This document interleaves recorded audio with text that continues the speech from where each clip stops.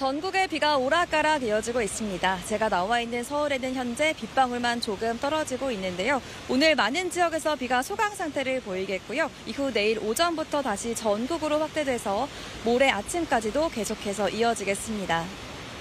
휴일까지의 예상 강수량 함께 보겠습니다. 전국 대부분 지역에 30에서 80mm가 예측되는데요. 강원 영동과 남해안 등 일부 지역은 120mm 이상 내리겠고 시간당 10에서 30mm의 호우 형태로 내리는 곳도 있겠습니다. 오늘 저녁까지 비가 대부분 이어지는 중부지방은 서울 최고 25도 등 낮에 선선하겠지만 비가 멎는 남부는 낮부터 다소 덥겠습니다. 주말 동안 빗속에 선선한 날씨가 이어지겠고요. 월요일 전국적으로 반짝 30도 안팎까지 올랐다가 이후부터는 서서히 기온이 떨어지겠습니다.